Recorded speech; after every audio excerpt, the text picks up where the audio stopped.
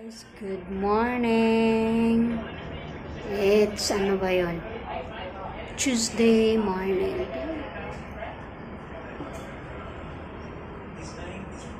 Aming baba.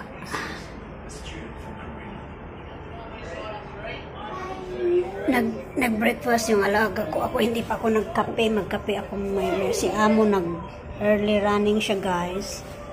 So ako nag nagwalis nagwalis tapos mamaya na ako mag ano mag ano ba yun? Kuskus sa ating mga dapat kuskusin. Uh, si Lola pagkatapos siyang magkape na ano natulog siya ulit tapos ano kagabi pala guys nag-announce na ang Singapore na phase 2 na kami sa Friday.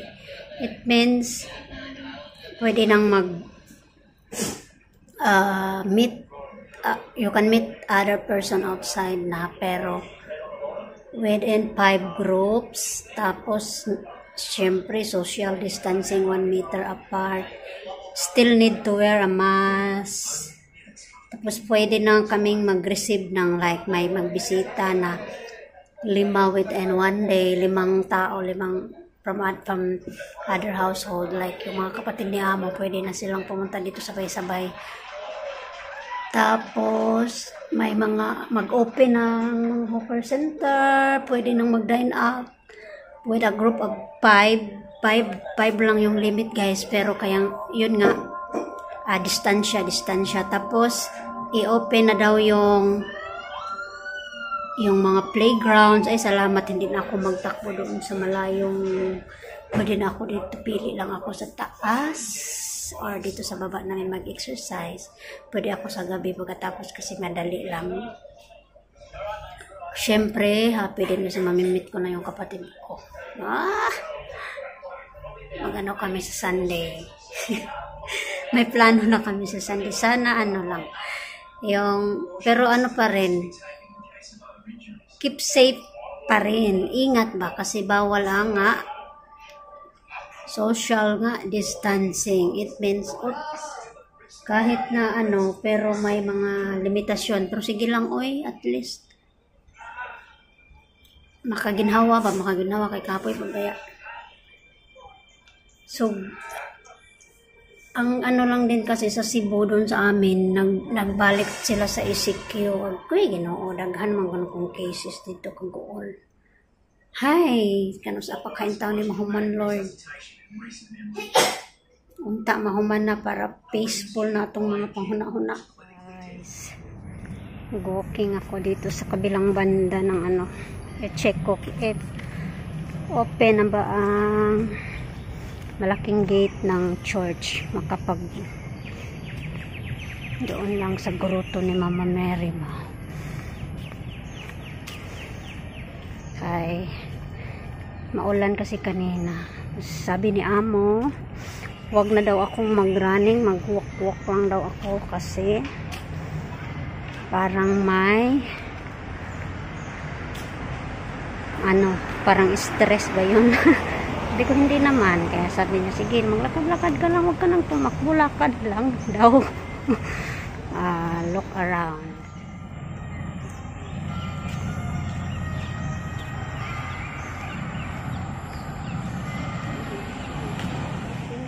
Guys. San ano actually matagal na. Eh mga 2 months na hindi nakapag church no, no ano naman yung parang Indian ano. Maganda dito ba kaya hindi ka matakot maglakad-lakad. Tapos si amo ano talaga concern. Kasi daw isip daw ng kung ano wag daw mag-isip kaya, buti pang maglakad-lakad ka sa labas.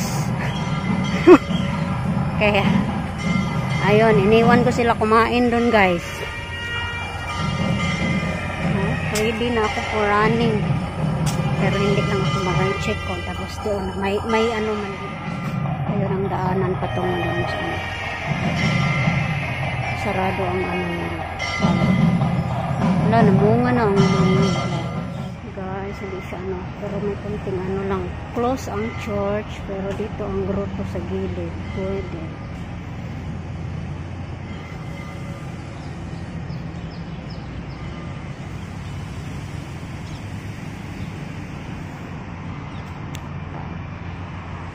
Sirado nila ang ang yung malaking ano 10.30 everyday 10.30 p.m.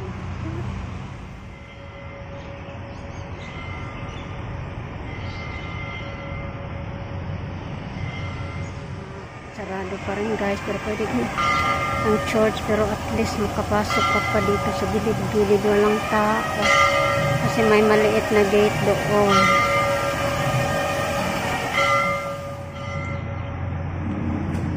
Pero at least naka thank you Lord. Kasilip na din ako dito sa wakad pad na naman. Ang lawak ng aking ano guys lawak ng aking bahay ah, bahay. Kung lupain. Saan kaya ito? Patungo ano? Wala lang lakad-lakad lang. Wala na tayong magawa. Ang lawak guys kalsada na siguro. Ito yung labasa na sa kalsada. Sa kalsada ako dadaan pa uwi sa amin. Kasi ayun na yung ano. So magkalsada ako la. Dagan naglikuan na ako naman ito yung murag tanil. Mao baka nang amo ah.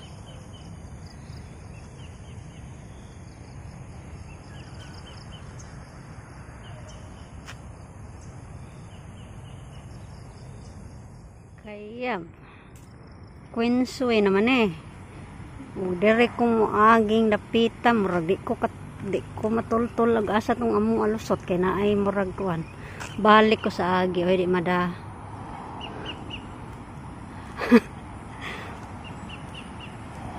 Wara ba ko idang bus card, basing masaag kung magkalsada ko, pero kay naghan man gud siya tuyukan balik lang ko oy sa agi to umagi to sila sa tanil tuyok na to sa anam balik ko sa agi ay